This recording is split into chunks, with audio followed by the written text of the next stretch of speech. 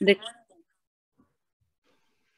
the galaxy of intellectuals, invited guests, esteemed dignitaries, and all the distinguished participants. It is indeed a tremendous pleasure and privilege to be present over here and welcome you all for the International Conference on Commerce, Management, and Social Science Research. This conference is organized by Management Institute, the Warsaw University of Life Science, Poland, Institute for Service Management, Germany, College of Social Science and Humanities, Bule Hora University, Ethiopia, and Research Cultural Society.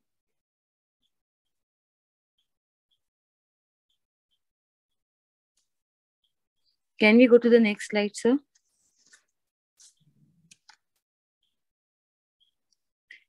I, Ms. Jaya Chetwani, would like to welcome you all.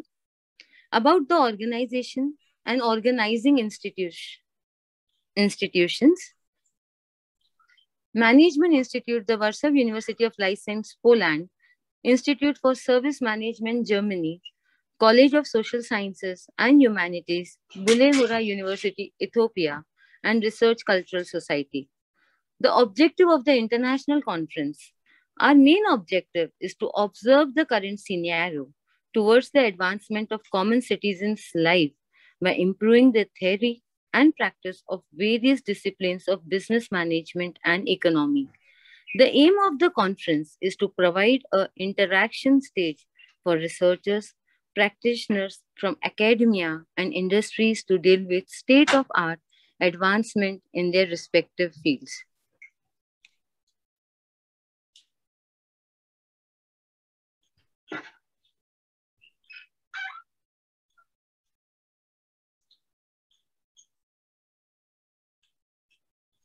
About the institute, Management Institute, Warsaw University of Life Science, was established in 2019. The institute, in its assumptions, conducts research as well as disseminates knowledge in the field of management science and quality, and in particular, knowledge management, digital management, or social corporate responsibility, that is CSR. The institute attaches great importance to cooperation with domestic and, in particular, foreign universities and other research entities. The Institute takes care of the high level of knowledge, skills, and competencies of its staff. About the university, the Warsaw University of Life Sciences is the oldest agriculture university in Poland and the fourth of this type in Europe.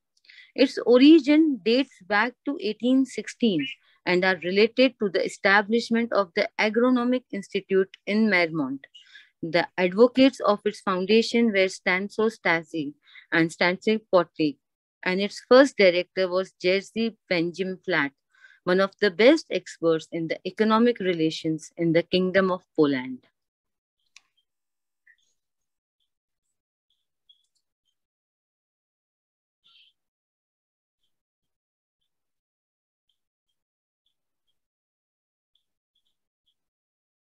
Research Culture Society is a government registered scientific research organization. Society is working for research community at national and international level to impart quality and non-profitable services. Society has successfully organized 100 plus conferences, seminars, synopsis, and other educational programs at national and international level in association with different educational institutions. Educational institutions, colleges, universities are welcome for Memorandum of Understanding MOU free to sign without any charge for academic exchange, knowledge sharing, and collaboration to organize events with us we are promoting and sponsoring educational events as well as publishing research work in collaboration. We also invite sponsorship from the industries, corporates, institutions, and government bodies for our educational programs. About Bule Hora University, Ethiopia, Bule Hora University, BHU, established to play its part in the national efforts of bringing quality and excellence in teaching, learning, research, community, services, administrative functions, good governance, connecting the development of cultural and natural resources with technology and its application. The university has laid down structure for relevance and quality of education, research community services, and good governance. BHU offers a total of 201 programs, of which 100 are undergraduate programs, 82 postgraduate programs, second degree ME, and 19 third degree PhD. College of Social Sciences and Humanities. College of Social Sciences and Humanities is one amongst the eight colleges having five departments Currently, the college offers 16 Bachelor of Arts BA and 17 Masters of Art MA and two PhD programs in a regular, summer, and weekend. The college has more than 131 on duty and 44 study leave instructors in different field of study. Department of Sociology and Social Work. At bachelor's level, 34 students graduated in June 2021 and 100 students are doing their studies in second, third, and final year of study. Very recently, the department has launched Master of Arts in Social Work, MASW program to meet the ground needs of West Guji, Bule Hora town, Borino, Yabilo, and Molaya Voria, and State Guji, Adolola, and Negila towns. Currently, 24 students enrolled and completed their first year of studies. About College of Business and Economics, the College of Business and Economics, CBE, is to produce well-trained manpower in the area of business and economics that could contribute towards the development of the country. Along with the production of professionals, the college shoulders public responsibility to back up the development efforts of the nation through provision of quality education, societal problems, solving research activities, community based service, and many more. At present, CBE has enrolled 3,000 undergraduate students in 11 programs, and more than 500 students in seven master programs, and more than 35 students in four PhD programs are enrolled in its regular evening and distance education program of accounting and finance management, economics, logistics, and supply chain management, along with marketing management. So it's a great privilege to have amongst us the eminent speakers for today. Uh, please pardon me if I'm not able to pronounce your names correctly. I hope you understand. We are grateful to have your presence, Dr. Anna Jeswick, Dr. Raina Lampu, Professor Josu Takala, and Dr. Chirag M. Patel. It's a great honor to have all of you with us for this international conference. Thank you for gracing the occasion. About our first speaker, Dr. Anna is an assistant professor in Institute of Management, Warsaw University of Life Science. She is a member of Polish Scientific Society of Marketing, head of postgraduate public procurement studies, theme editor in the international journal Annals of Marketing Management and Economics. She is researcher in international and national projects and author of several dozen scientific publications, organizer of international conferences, and reviewer of scientific papers in international journals. Her research areas include consumer behavior, enterprises, innovative marketing strategies, and sports marketing. As part of the teaching and research internship, she was a lecturer and researcher in University of Azores, Universidad da Murcia, Muğla Sıtkı Koçman University, Alanya Alaaddin Keykubat University, National University of Life and Environmental Science of Ukraine, Slovak University of Agriculture, Russian State Agrarian University, Moscow Timiryazev Agriculture Academy, St. Petersburg State Agrarian University. Ma'am, it's a pleasure having you with us. Can you please take over from here? Uh, good morning or good afternoon, ladies and gentlemen. I'm very glad to welcome you, and I would like to uh, thanks to the organizer for such a privilege to be a keynote speaker today. Uh, as it was mentioned, I represent the Warsaw University of Life Sciences. Uh, this is the biggest agricultural university in uh, Poland, and I'm honored to share the scientific insights that may contribute to the development of international cooperation between our universities in this discipline of business and management. And I, now I will try to share my uh, screen. Um, just a moment. And please confirm that my, uh, my screen is shared. Can you see my screen now? Yes, Anna, it's visible. Yes, okay, so I'll make the present, presentation mode, just a moment. Mm, okay, is, is it visible okay? Is everything is visible? Yes, ma'am, it is. Yes, Okay, thank you very much. And my presentation aims to bring closer the issue of customer engagement in consumer value co-creation in the sports market. This is one of my research interests, marketing in the sports market. So therefore, first, I will present a very, very brief review of the literature on consumer value creation. Then I will present the objectives of the study, the adopted methodology, results of research, and conclusions.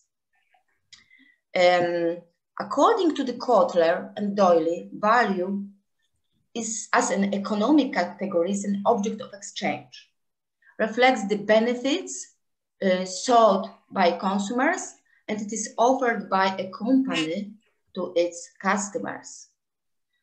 Other researchers believe that consumer value cannot be created by a company by itself, but appears thanks to the engagement of consumers, often networks of relationships among themselves. And this claim was a basis for a theory of service dominant logistic. And this um, theory promotes co-creation rather than creation of consumer value. So from this point of view, consumer value uh, as an economic category originates from numerous interactions between company and the customers that are engaged in this process. Uh, whereas the market becomes an area for gaining experience, for sensations and co-creation.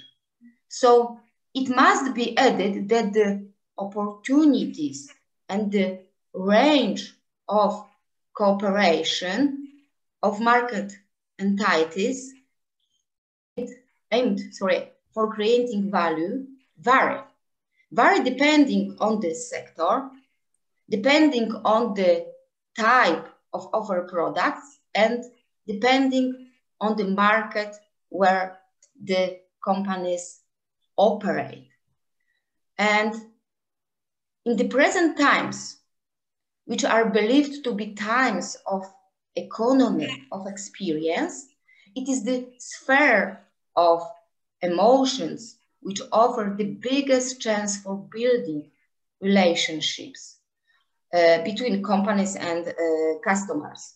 So it means that experience sold by consumers may be one of the most important elements in the co-created relationship between a company and a customer. So marketing communication based on consumer feelings and emotions is more effective than communication founded on rational and logistic arguments. And one of the major qualities of sports events market is the unpredictability of the sports people's endeavor. Any entertainment event or a strictly sporting event is unique. So that, why? Due to its intangible nature. So the consumption of sporting events is public by nature. If we join a sport uh, uh, events, big sport events, they are usually public. We pay for them and we want to achieve this satisfaction. And this fact of is of extreme significance in the context of creating consumer value. Without the participation of the audience, without its reaction, and without involvement in the creation of the event, it would be not possible to achieve such a high level of immersion and the state of flow, which is reached by both spectators, spectators and the competitors. And the question uh, addressed by me and Professor Zygmunt Waśkowski from Poznan University of Economics that researched this issue with me.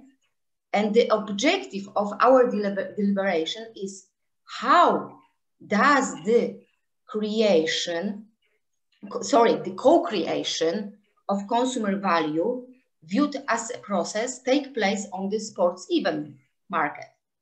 And based on the literature study, we put forward our own conceptual model, which is a synthesis of established already facts, aiming at the answering to the question posed here on the slide.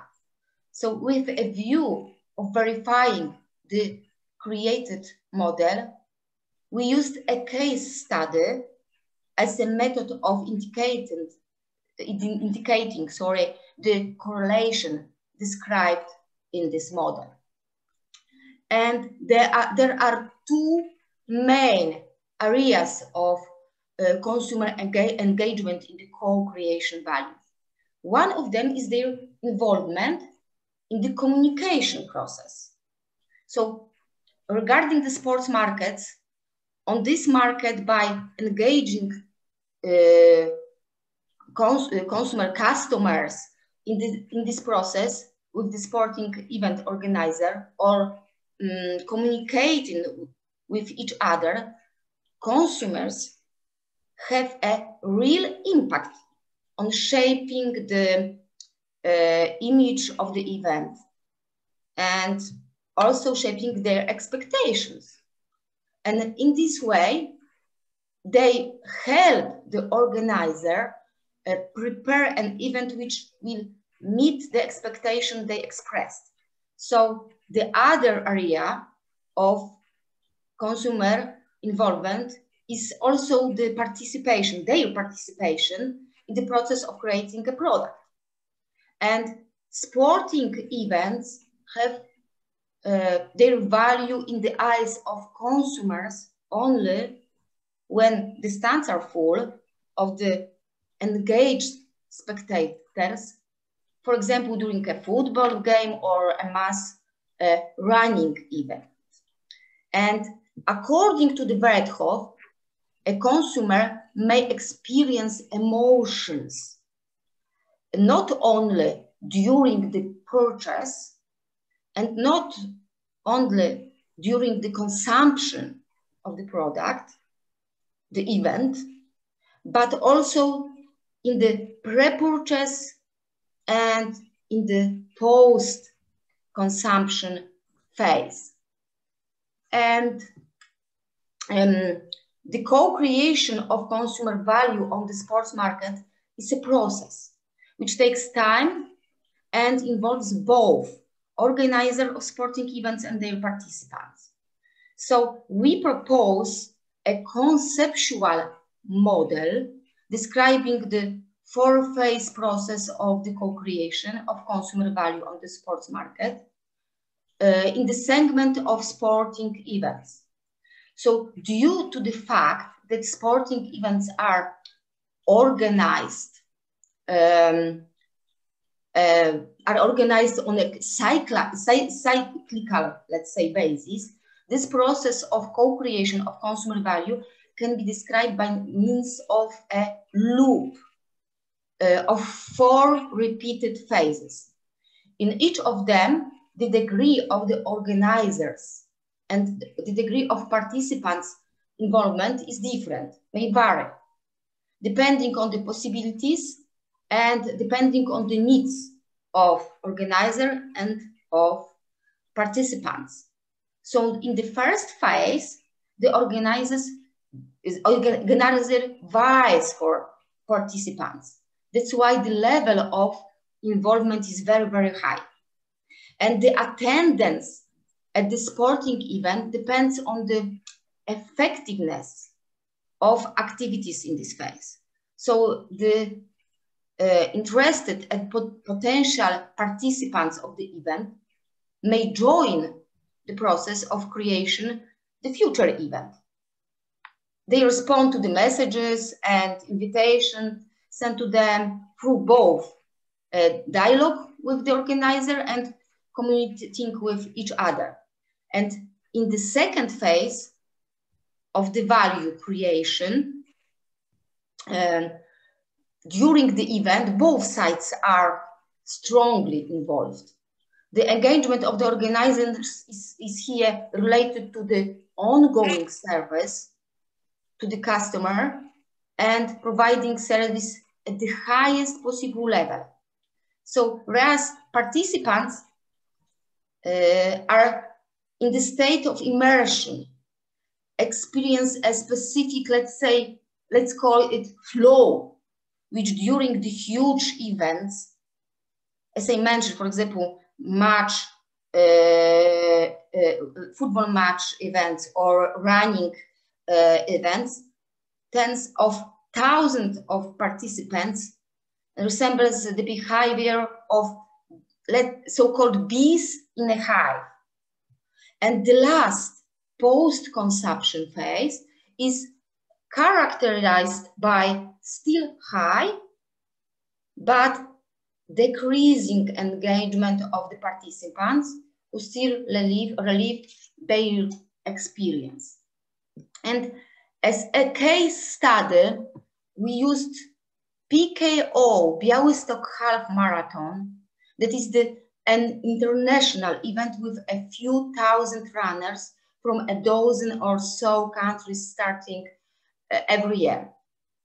And the case study presented here covers six, six seven, sorry, a, a PKO half marathon uh, organized on in uh, 2019. And the data used in the case, in this case study analysis have been obtained from three sources. The first one, it was a personal interview with the director of the event and uh, the analysis of content of the event website, that was the second one, um, as well as interviews with uh, a dozen or so participants of this uh, event as a third source. And the organizer, uh, I must add that the organizer was aware of significant role of the runners for building a brand of the event. Therefore, all the activities were focused on the co-creation of the consumer value. And with reference to the model proposed by uh, me and my colleague, uh, the organizer initiated and used the runner's involvement in the three phases, pre-purchase phase, consumption phase, and post-consumption, with a view to co-create the uh, value of the product with uh, consumers, with, let's say, runners and the spectators of the event. And during all phases, the organizer used both traditional and uh, digital methods of uh, communicating with the runners. ICT techniques were used to contribute the value of the marathon, half marathon, sorry, and they allowed the runners to participate in the decision-making process regarding selected uh, elements of the sporting event. So social media and uh, virtual networks made the exchange of information and uh, um, the communication two-way, synchronous and based on a network of connections between the organizer uh, and other uh, between the uh, uh, particular organizers of the foundation and between the organizer and the runners and also runners among themselves and initiating the organization of the event uh, the organizer made use of marketing of experience in this phase. The activities of organizer were very intense and they were focused primarily on the promotion of the run. And gradually, the suspense was built around the biggest running event in southeast of Poland. And the activities can be divided into two categories. First one, information about the event, and the second one's encouragement of the participants' involvement. And in both cases, the organizer actively use digital um, technologies. And here you, I would like to say, to so, show, sorry, some examples of information activities. Um, the photos and the films, thanks to them, the runners from outside the region uh, were aware that they would be given a significant uh, added value of the event. Positive and unforgettable aesthetical and culinary even experience and also joyful atmosphere. And the information about the uh, awards for her marathon, information about the charity character of the race were also credible recommendation for runners to participate in this uh, event. And another group of um, activities were related to the engagement of the runners. And it was partly initiated by the organizer and partly resulting from the initiative of the participants. And a few months uh, before the event, the runner's involvement can be defined as reactive. For example, they were uh, activated in response to incentives uh, provided by the organizer. And the closer the date of the event of the run, the more willingly the participant uh, got engaged by themselves. So they make contacts not only with the organizer, but also with uh, each other. And um, a running event is a product, a product which offers the uh, consumers not only the run, but also a number of different accompanying initiatives. So for the full understanding of this issue, the consumption phase should be delivered, uh, uh, should be, sorry, should be um, divided, let's say, uh, into three subphases. First one, these are the activities that take place um, uh, at the um, at the place of the event, but before the run. The second one is the main run, and the third is all the activities taking place after the run. And um, here I would like to show some sample of activities building emotional uh, value, spiritual relation with the uh, organizer. Uh, on the basis of the experience from previous six editions, the event organizer was aware that the key to success of the run, of the whole event, are the, let's say, stimuli for emotions, stimuli for uh, sensations experienced by the participants through the run. And multidimensional actions uh, were undertaken so that the runners could feel that this was their day and feel satisfaction in three main phases of the run. At the start, uh, of course, they were supposed to feel excitement and the adrenaline.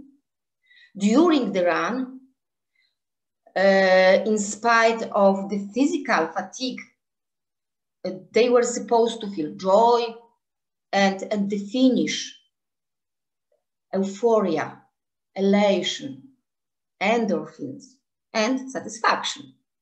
And as it was mentioned earlier, the atmosphere of a sports event is to a large degree created by participants. So their activity, their interactions, sharing emotions, um, spending time together in Bialystok city where the uh, event took place lasted till late uh, night hours. Each participant of the event was genuinely engaged in the creation of this memorable experience. And that is the key element of the value of the sports products. For many runners, the emotional value of the event was enhanced by the presence of their families and the presence of, uh, of their friends. And according to the organizer, the post-consumption phase lasts for about three weeks. During this time, it is noticeable that the event participants are more intensively engaged than the organizer, especially for a few days after event. Um, they still think about this event, about this, this run. So their character of this interaction is also somehow different. In this phase, uh, interactions among the participants are prevailing. Aware of the fact that the interactions among runners after the run affect the perception of the whole event in the future, the organizer also, of course, reminded uh, in touch with the participants, primarily on the digital channels like social media, mainly Facebook, uh, Instagram, and also, of course, on the official uh, website of the run. And an interesting solution was, for example, inviting to the event some famous sport bloggers who described the uh, event in their blogs. Their um, articles obtained over a dozen thousand hits. And the, uh, uh, the activity of the runners took the form of numerous posts on, on the social media with options, of opinions, sorry, uh, with uh, comments, assessments of the event, photos, discussions, mm, and a widespread exchange of, of information. So for obvious reason, this activity lost its intensity after about seven to 10 days. And the next decrease uh, in the interest of the participants could be noticed after about uh, three weeks. Although um, the organizer regularly monitors the media, and he told in the interview that between the sixth edition in the 2018 and the seventh edition in the 2019, there were about a million posts which included the phrase of the half marathon in Bialystok. And the last phase, it is tranquility phase, and this, in this phase, the participants' involvement was clearly falling. The organizers' activities were less visible for the runners, only slightly influenced the value created for uh, for uh, mm, consumers, and the organizers provided a summary of the event, among others, informing about the results of the charity action. Uh, for these reasons, the level of the runners' emotion related to the event declined because they engaged in the next running initiatives. And the organizer announced some actions, like, for example, debut for world medals, for, for medal, runners who took part in the five kilometer side run uh, accompanying the half marathon, uh, they could take part um, um, in the com competition, um, they if they wanted to be trained by the professional trainers, they could take part in the competition after um, they were offered a free of charge start training led by uh, professional coaches and the organizer um, um, placed the coverage of the beginners preparation in the social media and the beginners themselves uh, were very active in the social media and described their activities there which of course resulted in their friends interest increasing let's say interest in the next edition of the Białystok Half Marathon. As a conclusion, I would like to say that uh, the value for the customer on the sports market is created as a result of involvement in the creation process of both the organizer and the viewers or participants, recipients of the event. As shown on the basis of the literature review and the case study analysis, the process of co-creation customer value lasts much longer, uh, much longer than the time of product consumption, because it be begins long before the sporting event and may last after it. And in three uh, uh, of uh, uh, three out of four um, phases, the creation illustrated by us in this model presented here today, it is expedient to engage uh, customers in the process of co-creation value. And the carried out case study confirmed, confirmed uh, let's say, the validity of the proposed conceptual model. In addition, it allowed to um, discover new facts. For example, that not only the strength of the um, parties involved in different uh, individual stages, but also the type uh, of involvement is different in the pre-purchase and the post-consumer stages. So this fact uh, poses further research questions and setting out further directions of research on the sports markets. Thank you for your attention. If you have any questions, please do not hesitate to ask them, them um, um, directly or to write them, uh, I will try to answer. Thank you very much.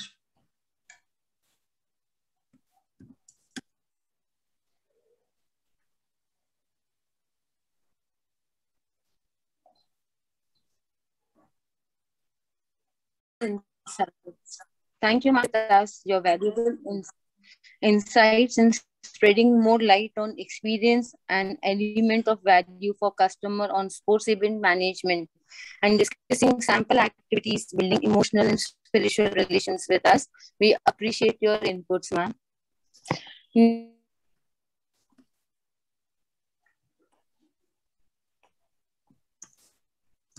Next, we have with us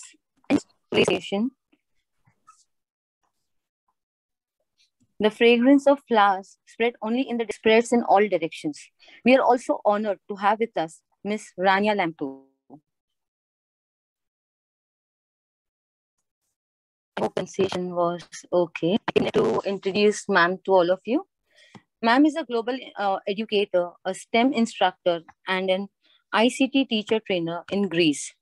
Currently, she is a STEM instructor at the Greek Astronomy and Space Company annex of Salmias, and she's also working at the Greek Ministry for Education.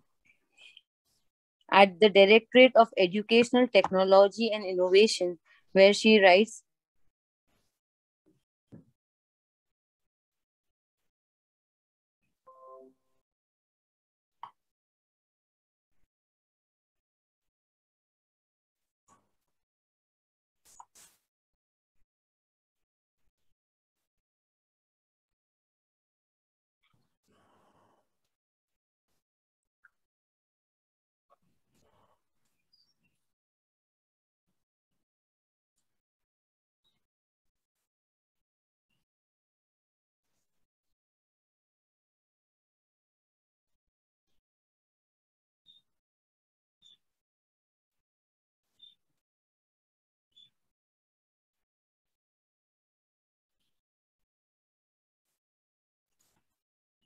conference. And I warmly thank the Research Cultural Society and especially Chirag Patel for his uh, kind invitation. And today I will present uh, entrepreneurial and innovation ecosystems for sustainable development goals. So we give uh, an interview of recent developments in entrepreneurship as well as best practices and measures taken to support entrepreneurship at national, regional, and international levels, including in response to challenges posed by the COVID pandemic, and I will also explore the role of inclusive, green, digital, and circular entrepreneurship in the post-COVID context with regard, of course, to the implementation of 2030 Agenda for Sustainable Development. So, uh, can I share my presentation now? Can we enable my screening?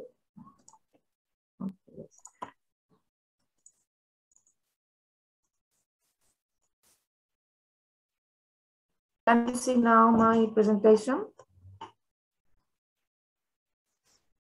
Yes. Yes. Okay.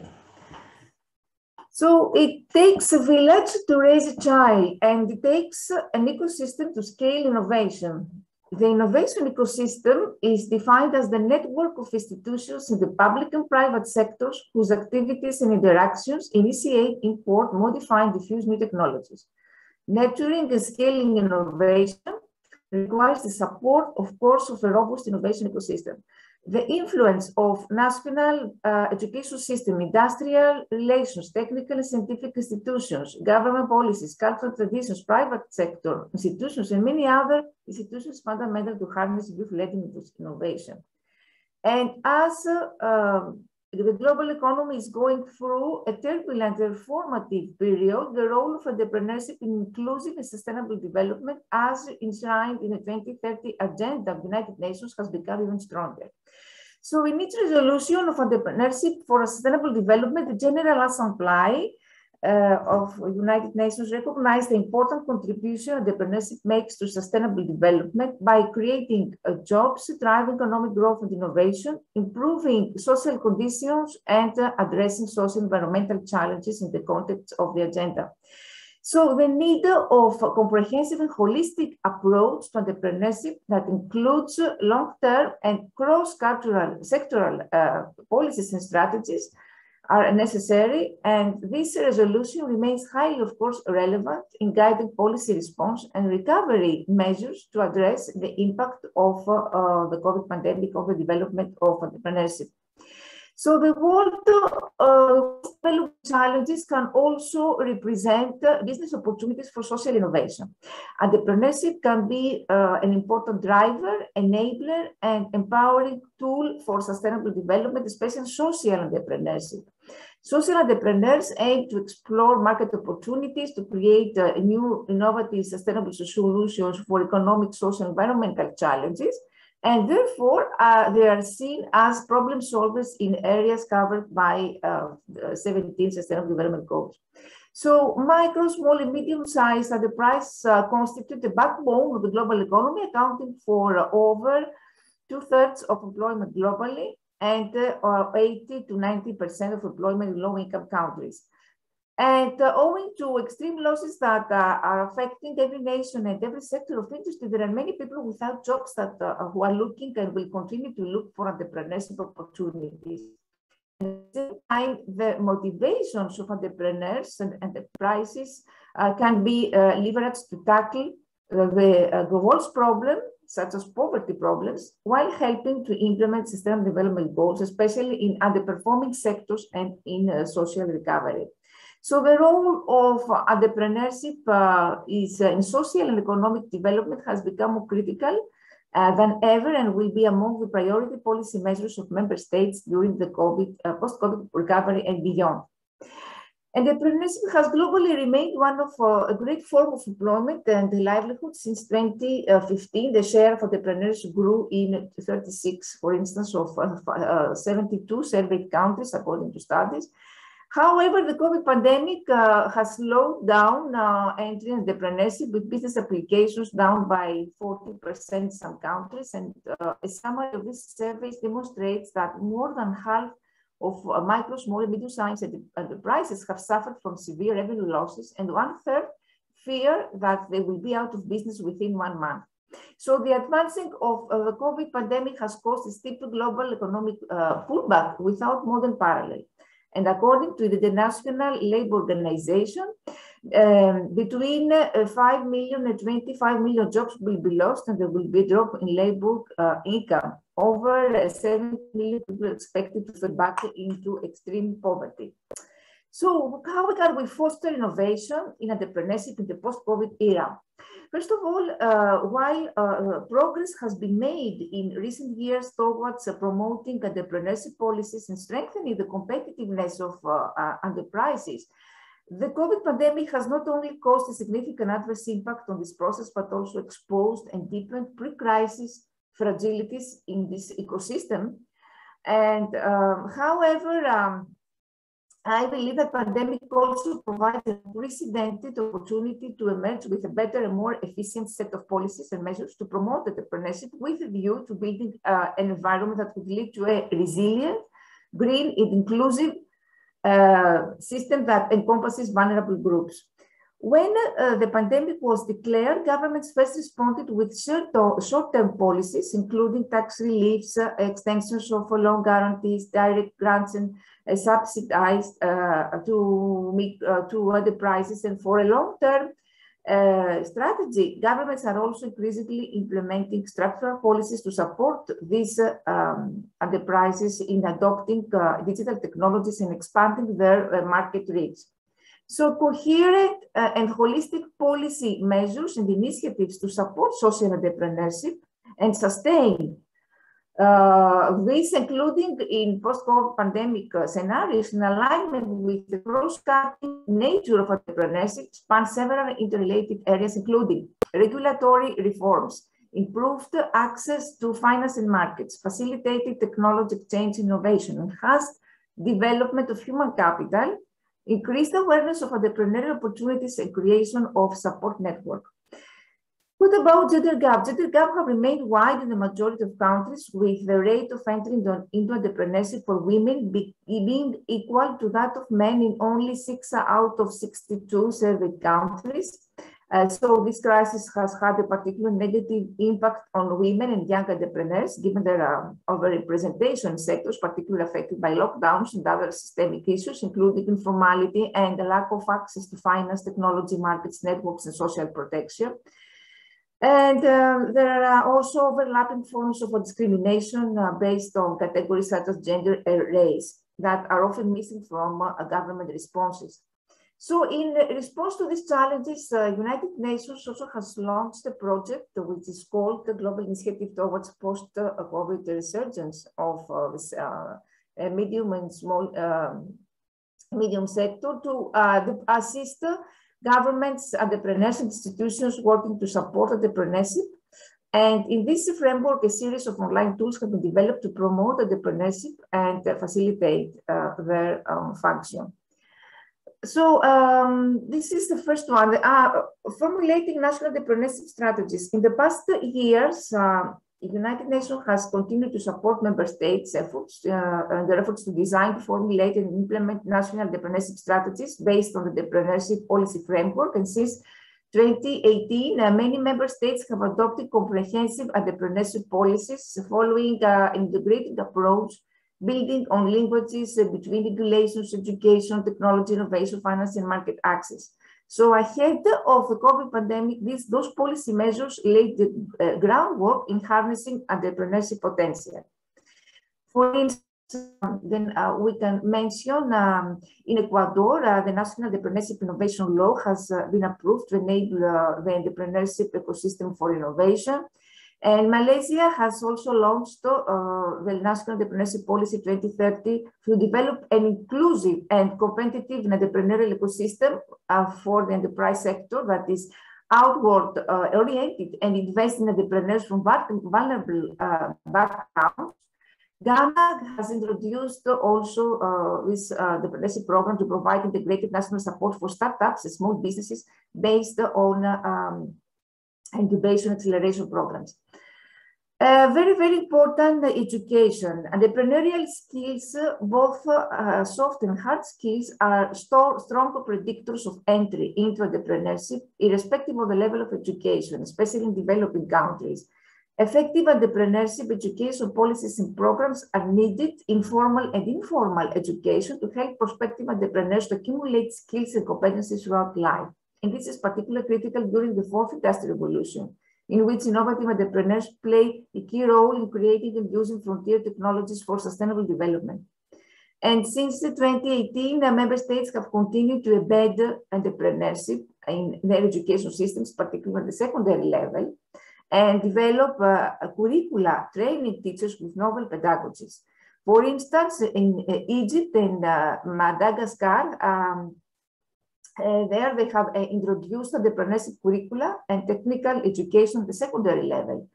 So training uh, in entrepreneurship skills has increasingly targeted people from vulnerable also backgrounds, including women, young people, migrants, and refugees. Another important issue, especially during this uh, COVID uh, lockdown, uh, is technology exchange and innovation. The COVID crisis has highlighted the importance of accelerating the adoption of digital technologies uh, by entrepreneurs and the prices, not only to strengthen their resilience, but also to find solutions to stop the outbreak. Innovative entrepreneurship, uh, however, remained remarkably low in uh, the pre-COVID period, with less than 5% of entrepreneurs having introduced new products or services, and even fewer having used the latest technologies or procedures in their new businesses in 2019. Uh, so uh, some member states have introduced innovative policies to provide support. Um, we can mention, uh, or for instance, China or uh, Malaysia that have invested in the digitalization of small and medium-sized enterprises. And also, we can uh, also mention in response to COVID pandemic hackathons. Hackathons have been organized in Finland, Latvia, and Poland to innovate novel solutions. Improving access to finance. Access to finance remains one of the top constraints for especially women and young people. The severe uh, consequences of the COVID pandemic uh, um, uh, have prompted member states to quickly provide financial support through credit guarantee schemes, grants, uh, uh, debt moratoriums, bridge loans, and direct uh, subsidies, among others. And alternative financing schemes and digital finance solutions are also introduced to keep the prices afloat. Improving access to markets. Why? Because the majority of entrepreneurs, unfortunately, do not uh, participate in the international trade and they have difficulty reaching national markets. Over 60% of early stage entrepreneurs across the majority of developing countries target customers in local markets. So inequalities around, particularly by firm size, developing countries, um, uh, there uh, is much more uh, serious the problem. So with, uh, uh, uh, with the COVID pandemic, the prices are increasingly moving their content online to e-platforms in search of new sales channels and uh, also uh, increase in this way their uh, business, their performance. Awareness raising and networking programs that start that target startups are increasingly setting up online platforms that raise awareness foster networking among peers, and improve access to relevant and up-to-date information for entrepreneurs. For instance, we can mention in India, the Startup India program that has connected over uh, 75,000 startups, 500 mentors and accelerators, etc.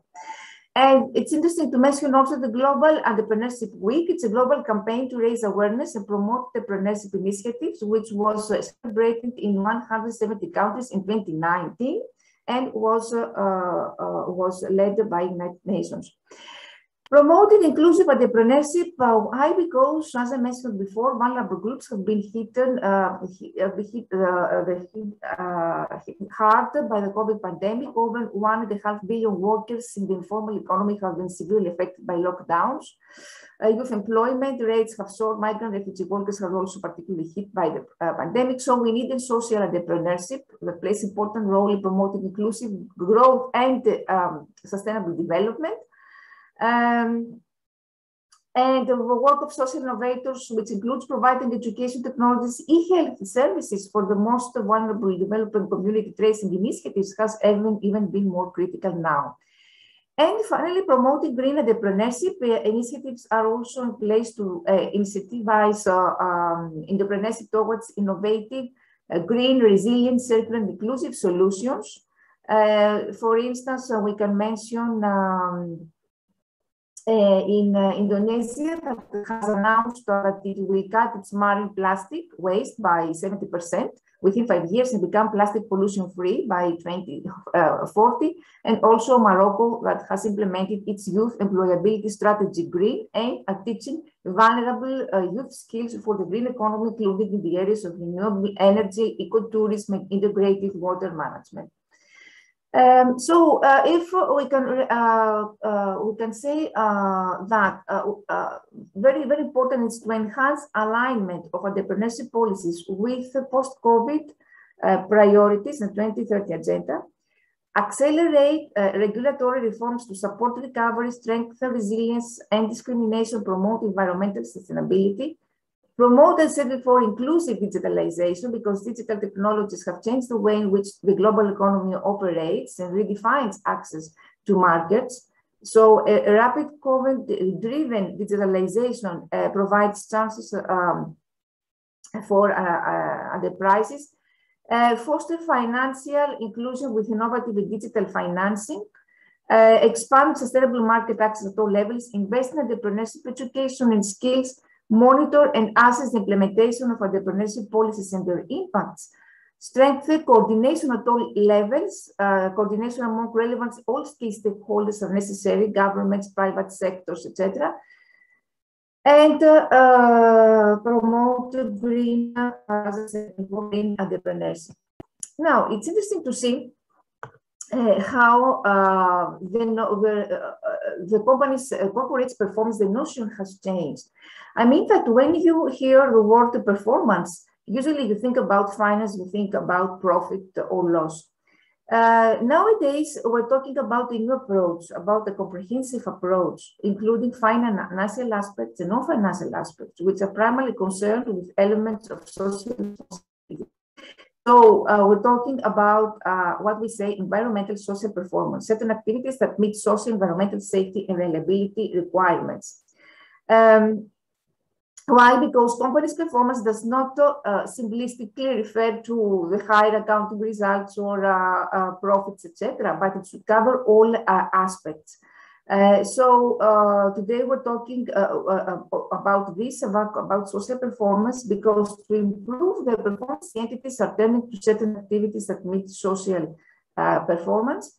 And um, also, the long-term programs aim at improving the risk management and quality performance. Uh, so we're talking about also new uh, terms. Um, new terms also that emerge from this, definition is corporate social responsibility. It's a concept whereby organizations serve the interest of society by taking responsibility for the impact of their activities on customers, employees, shareholders, communities, on the environment, all aspects. And social responsible companies take into account their impact on communities and the environment when they make decisions, when they balance stakeholder needs with their needs to make profits. Uh, another aspect very important is uh, that in order to report the non-financial performance, companies presenting their uh, reports the following types of uh, reports. We have a social balance sheet, environmental balance sheet, a non-financial dimension by reporting. Uh, why social balance? The best tool to give visibility to the questions and useful information and transparency is social balance. That use of a model for reporting of the quantity, uh, quality of relationship between society reference groups uh, represented by the entire community seeks to establish a complete and transparent framework of the complex interdependence of economic, intrinsic, and socio-political factors and resulted from choices taken. And why this is important? Why? What are the objectives of the social uh, SIT, balance sheet, which is also called, has many names, social uh, audit, social accounting, etc. Uh, what are the objectives? Of course, it enables the company to know its role in society. Uh, it's a tool for comparing the result with existing needs, providing information about the social objectives, provides information on the social objectives, of course, demonstrates that the company goal is not only to make profit, but also to provide added value to the community, helps develop democracy and transparency the company's activities, becomes important to um, in terms of effectiveness and legitimacy. And uh, let's not forget also that uh, there are social and cultural factors that influence entrepreneurship, and cultural aspects are assumed to shape the environment in which business is conducted. Uh, and uh, uh, as I said before, it's a triple uh, bottom line. it's actually a theory that underlies a balanced development of the economic entity uh, that have terms on environmental, why triple? Because we have environmental, social, and economic capital. So the major objective of economic uh, entity is not simply the profit. Increasingly, more companies began to approach for an, a sustainable development of their activities. So this is the uh, TBL uh, triple bottom uh, line concept introduced performance at three levels, environmental, economic, and social. Why? Because if companies ignore the social environmental aspects, these companies risk to lose in uh, uh, the national market share to sustain the costs on greening of the activity areas and to allocate large sums for damage control to regain consumer confidence. So it's actually a, a philosophy that guides corporate performance. And uh, also there is uh, uh, the concept of uh, sustainable consumption, very, very important, which was incepted in Oslo Symposium 1994. And this actually is the use of, uh, is, has many, many uh, definitions, but here we can say it's the use of goods and services that respond to basic needs and bring a better quality of life while minimizing the use of natural resources, toxic materials, and emissions of waste pollutants over life cycles does not jeopardize the needs of future generations. So sustainable consumption suggests for practicing, there are two levels. The one is the macroeconomic level, which concerns the impact of companies on the environment, on the society in general.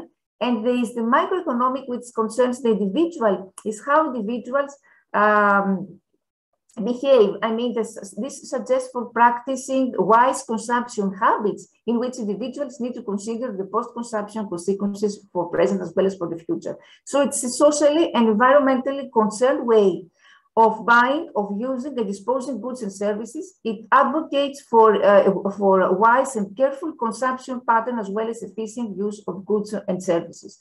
It refers to the act of avoiding overindulging in purchase and careful use of goods and services that satisfy uh, the basic needs. Um, and uh, um, why uh, uh, is sustainable consumption is, is not in practice, uh, obviously, and as it is suggested by studies, uh, it is suggested that the government need to take some actions to include discussion on sustainable consumption in school, for instance, and colleges, textbooks, in order to make the new generations aware about the necessity of practicing such consumption behavior. And also, um, there's also suggested uh, that uh, maybe some people uh, some uh, uh, famous movie stars or singers can be used to create a long-term buzz in the national television channels to make people aware of this issue. So um, before concluding here, you can see also the Brennestic ecosystem, how all key stakeholders are necessary in order to form policy ecosystem. All these factors are interrelated between them. And by concluding, I would say that uh, we need to harness, uh, in order to harness the potential of entrepreneurs uh, in recovery from the pandemic, entrepreneurship strategies must place special emphasis on structural policies to strengthen the resilience and the competitiveness. And such policies should, uh, policies should prioritize vulnerable groups, environmentally sustainable, sustainable models, including tailored support and skills development, digital financial literacy, digitalization, innovation, gain access to alternative markets and novel financial uh, schemes. Thank you very much for your attention and I have, of course, any question.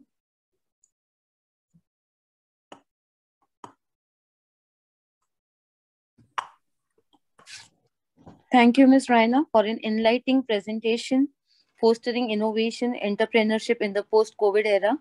We appreciate your valuable insight and sharing light on sustainable consumption as well.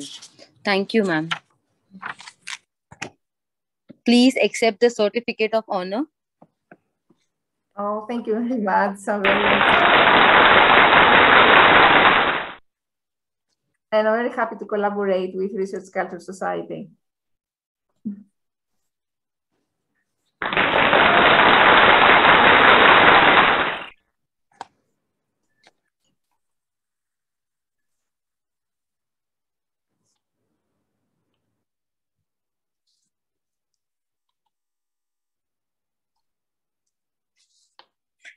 Next, we are also honored to have amidst us the inspiring words of Mr. Josu Takala. Josu Takala has experience in industry from ABB 1979 to 1992 and academia. He graduated from Tampere University of Technology, MSc 1980 and Doctor 1980. Dr. HC 2009 from Technical University of Košice, Slovakia and University Tun Hussein on Finland 1988 and visiting adjunct professor in various universities in Finland and abroad. His field is decision making and operative sustainable competitive strategies. He has 650 scientific artists and special issues editorships, invited speakers and chairman position in conference activities within university, society relationships and programs, and ownership in about 10 startups.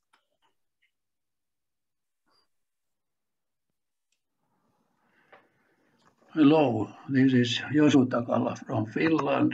I'm going to speak for this conference about um, decision modeling for technology and knowledge intensive startups. Startups are not only owned by me, uh, they are they are something else.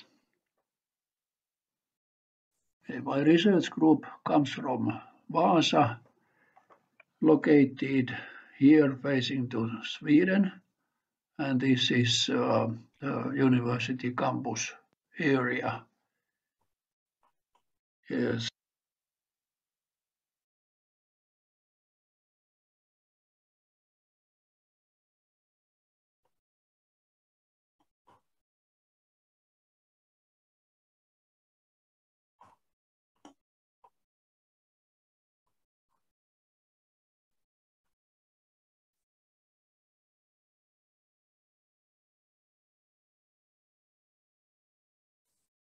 seaside campus area. First, uh, if we look at uh, innovation scorecards, we could ask, could we do something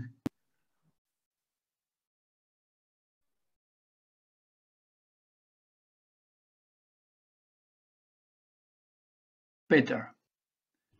If we, for instance, uh, look at the world's most innovative countries, from year 2019. For instance, Finland is here, so it could be quite much better.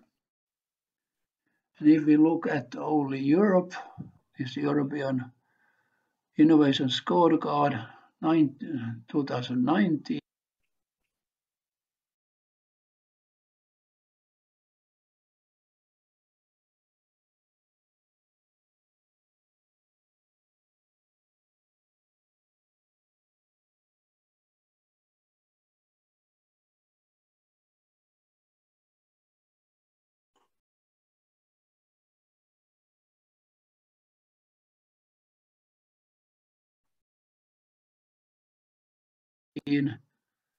There we are scoring better, but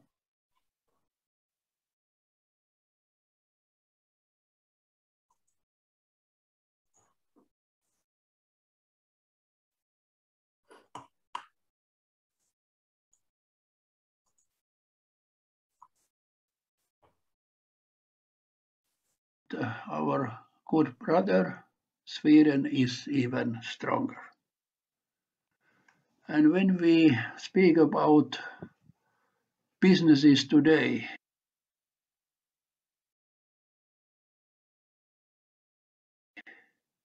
they can be existing businesses or or new uh, startup businesses. They are facing quite similar problems with sustainability.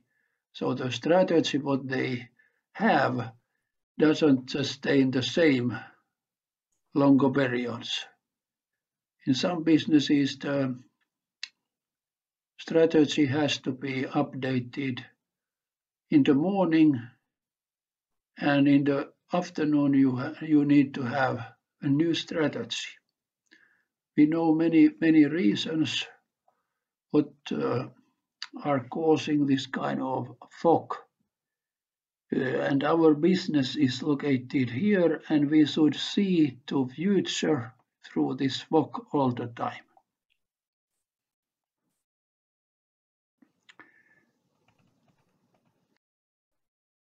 So we are interested about risk, what kind of risk, whatever it is related to technology or knowledge. What is it now? And what is the probability? Is it uh, bigger or smaller? Or what is it? Uh, what is the origin of this consequence? Um, is it related to customers, economy, safety, or whatever? And uh, we are looking after investment, how this uh, risk is behaving. Is it smaller, uh, with smaller probability, and uh, where it comes from? And uh, we are looking the investments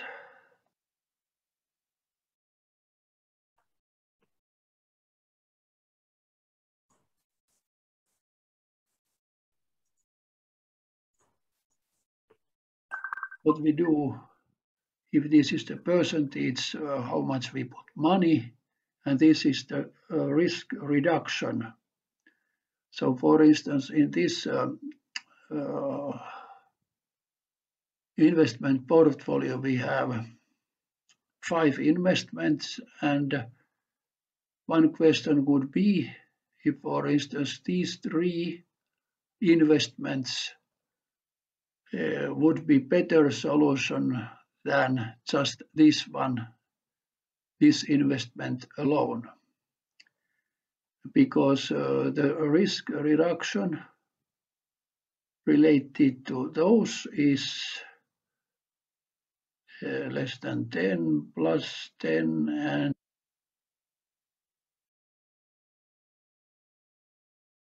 and less than 20, quite the same with the risk reduction what this investment could cause. And the investment level with those ones is quite the same with this one. This is one example what kind of challenges we have. Technology and knowledge.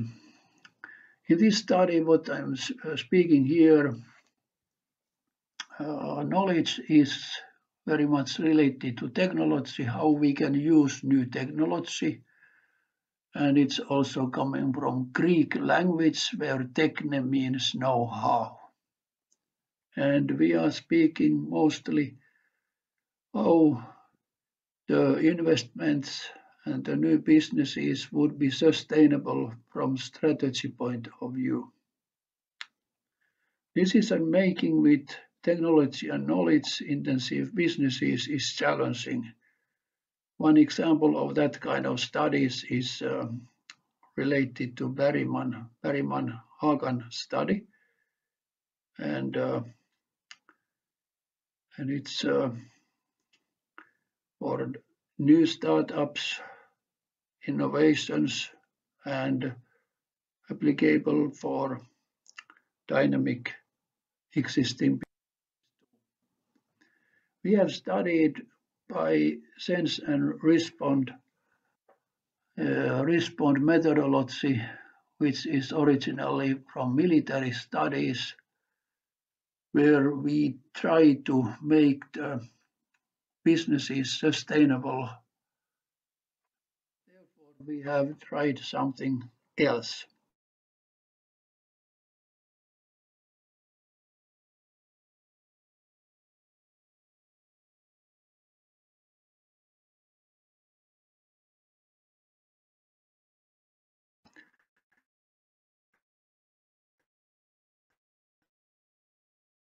It's related to life cycle and we can speak about three different type of technologies and knowledges basic core and spearhead spearhead we need uh, typically when we are launching new businesses because then we need to uh, to give vision to our suppliers. Sand cone model is used here as well, and it's a methodology developed by Ferdows and de Meyer, where we put different performance dimensions. Like here, we put something what will remain the same longer periods on the bottom and next layers uh, shorter and shorter life cycles and the fine sand in the sand cone is here and the wind very easily takes that out. And our methodology is based on the sand cone and performance levels. Uh, so that uh, all the time there is something in the sand cone inside that we can't see and that is causing causing Uh, collapsing this sand cone and we lose the height of this sand cone. And how we can use this? We, we can collect data from experts how much basic core and spearhead technology they need in different functions, different departments. So this risk can be related to basic core or spearhead technologies like here. Uh, I have here two examples. Uh, one is related to what we actually did with students in also University of Life Cycles, uh, Life Cycle, Warsaw University of Life Sciences, sorry, uh, a couple of years ago, or escape room, where we can use different events like weddings, birthdays, other parties in a portable car. And the basic idea is that we have certain space like truck or any space where we want to make very uh, unique event. Core is uh, knowledge about marketing channel, how to market. And uh, this was the starting point. And then we planned something new to uh, develop this business idea by certain new features mentioned here to decrease the uncertainty so that the experts starting this business would be more agreeing about it. And that means uh, first round about 50% risk and uh, when we did this uh, for the future, uh, another round. So the risk level is uh, more than 10% absolute percent less. Case related to that, before this business was started, basic was mobile phones, core, email, social media, and spearhead something what we didn't know so well, like virtual reality. And the layers in sand cone were information safety, including also security and uh, reliability level of, of, of technology and uh, uh, the software application level and product price. What is causing the biggest risk, the biggest uh, uh, uncertainty? We notice that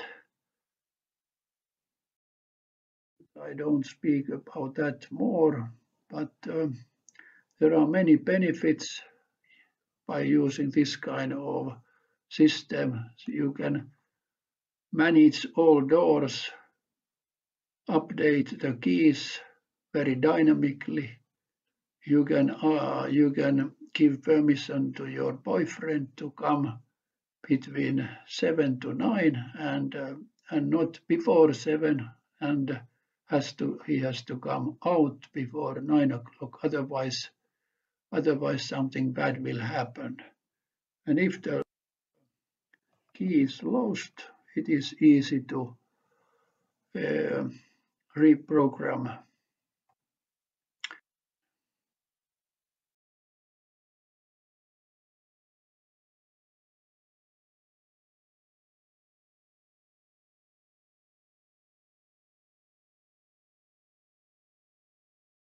and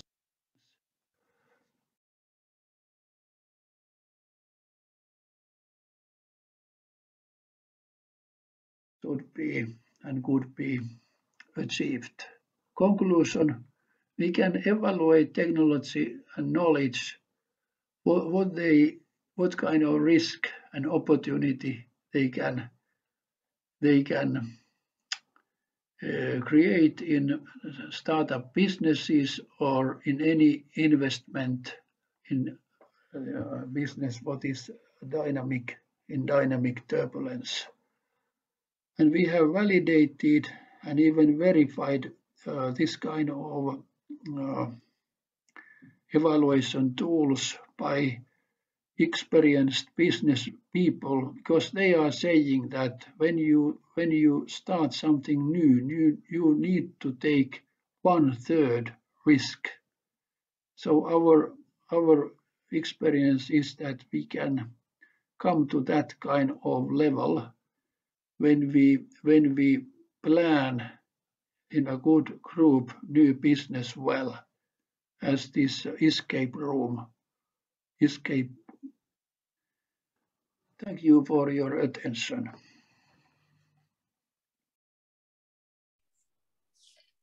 It was indeed a delight to hear Mr. Joshua's insight for risk identification and analysis.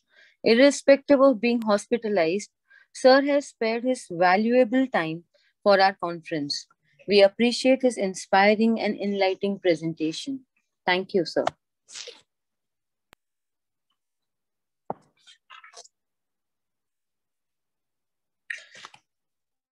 Gratitude is the best attitude. I would like to express my gratitude to all the esteemed delegates of the International Conference on Commerce, Management, and Social Science Research for their presence and contribution to take time out from their busy schedule and to grace the event. Further, all the participants have 14 more days time till 31st October 2021 for any modification, update, and submission of final article paper for publication. Publication process will start after all selected articles papers converted as per standard publication format. Participants, presenters will receive e-certificate till 23rd October 2021. Hard copy of certificate and proceeding books after 15th November 2021. Online publication tentative date is 10th November 2021. We are grateful for your presence and with given time and efforts, our well wishes for the future collaborations and participation. Please find the feedback link in the chat box. We request you all